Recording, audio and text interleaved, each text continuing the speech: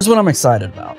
I've I've been on YouTube long enough to see um, each level, and when somebody's at Mr. Beast level, which used to be way less, everyone assumes it can never get bigger. And what I'm excited for is to see who the next guy is that mm. shows the next numbers. I think Beast is the next guy. I think he just is. there's, there's more Beast 2.0, Mr. Beast 3.0.